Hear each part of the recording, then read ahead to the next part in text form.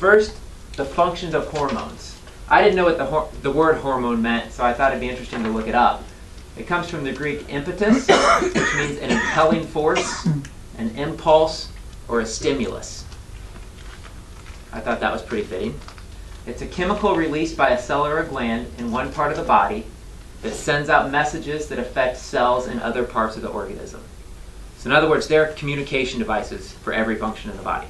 You have to have hormones for your body to communicate and to perform specific functions. That's in general what a hormone does. So, these are just some of the very generic uh, functions of hormones, some important functions that they do in the body. They're important for stimulating or inhibiting growth. Um, has everything to do with your mood and how you're feeling. Um, induction or suppression of apoptosis, uh, cancer cell death. There's a lot of research going on with, with hormones and how it relates to uh, cancer. Immune system, regulation of metabolism, hunger cravings, and then, you know, this is kind of commonly what we think of when we think of hormones. Preparing the body for mating, for fighting, for fleeing, you know, fight or flight, running, adrenaline, all those types of things.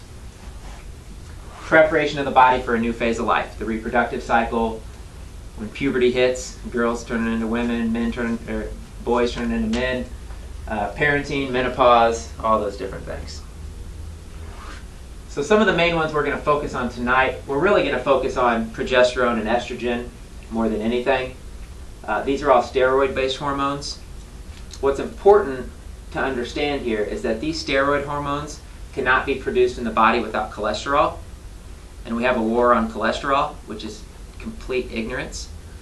Um, when you take cholesterol medication, it stops the production of cholesterol in your body, which means you're going to have side effects to not being able to produce any of these hormones anymore, which the list is exhaustive of how many side effects there are to not producing these hormones properly. So that's the main reason I wanted to show you this. Like, I mean, these are the, the hormones we're going to be focusing on, but they're steroid-based hormones. So, since we're not going to talk about this in detail, I just want to make a couple points. DHEA.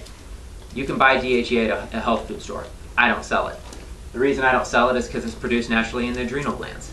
If you take a supplement form of it, a lot of people have negative side effects to it, even in a natural form. Well, it's not natural, it's synthetic. Anytime you take a hormone from an outside source, it's synthetic. It can't be natural. You produce it naturally.